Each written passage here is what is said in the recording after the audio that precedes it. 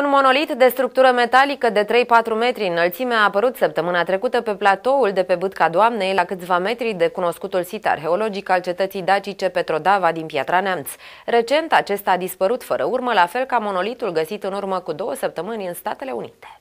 Pe data de 27 noiembrie, în apropiere de cetatea dacică Petrodava, o construcție bizară, asemănătoare cu cea din deșertul american, își făcuse apariția stârnind multe controverse în spațiul public. Ambele construcții au fost amplasate fără autorizație în zone protejate. Nu se știe de unde provin și cine le-a amplasat acolo. Structura avea o înălțime de aproximativ 3-4 metri și era confecționată dintr-un metal lucios, iar pe toată suprafața ei se aflau spirale. Monolitul din Piatra Neamț avea secții secțiune triunghiulară și o față orientată spre muntele Ceahlău. De ziua națională a României, monolitul metalic de pe Bâtca Doamnei din Piatra Neamț nu se mai afla la locul în care a fost descoperit, a consemnat ziarul de Piatra Neamț. Originea structurii este de asemenea necunoscută de autorități.